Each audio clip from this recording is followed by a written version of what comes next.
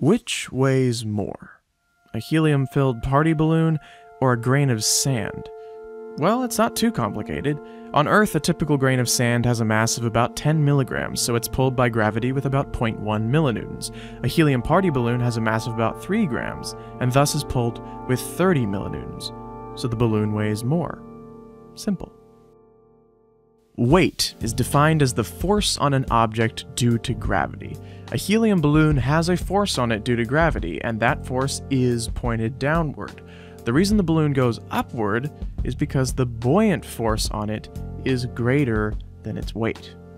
Buoyancy is a force that is applied to any object within a fluid equal to the gravitational force on an amount of fluid equivalent in volume to the object, but in the opposite direction. If the balloon displaces 4 liters of air, the buoyant force pushing the balloon up is the same as the gravitational force applied to 4 liters of air, which is about 50 millinewtons at sea level.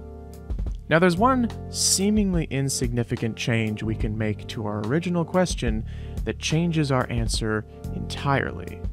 What if instead of weight, we asked about heaviness?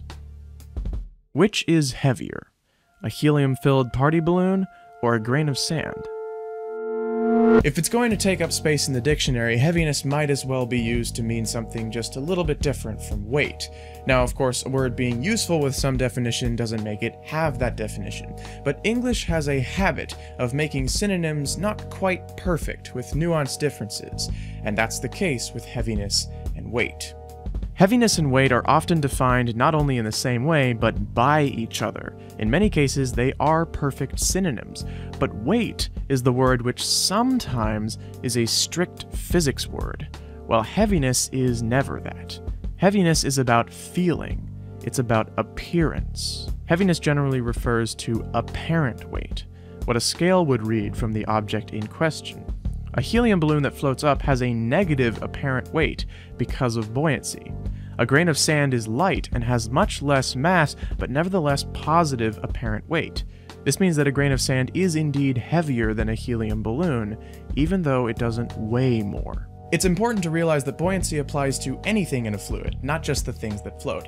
In the case of an object that floats upward, what we're seeing is the buoyant force exceeding the gravitational force on the object, but every object has a buoyant force. The average person displaces about 85 grams of air, and that creates a buoyant force of about a quarter of a pound, or the weight of an apple. Everything in Earth's atmosphere has a buoyant force, even if it doesn't float. A kilogram of steel and a kilogram of feathers have the same mass. We defined them as such. But even without air pockets in the feathers, the kilogram of steel, if a solid chunk, is much more dense. If it has the same mass, but it's more dense, that means it must have less volume, and thus less buoyancy. The weights of the two kilograms are the same if they're at the same place on Earth, but their heaviness is not. A kilogram of steel is heavier than a kilogram of feathers. Hey, what's going on, guys? It's been a while, hasn't it?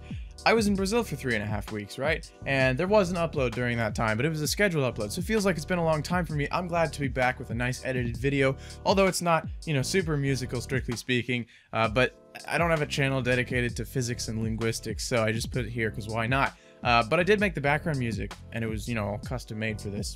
So that's a thing. But thank you so much for watching. I hope you enjoyed it. And we're getting back in the swing of things now. Obviously, being gone for that long without any recording equipment or anything um, puts kind of a stopper on the YouTube channel. But we're back. We're back now. And um, I've got a lot of stuff planned for this summer. And big announcements and, and uh, major content is coming. So stay tuned. And thanks for watching. See you next time. Bye you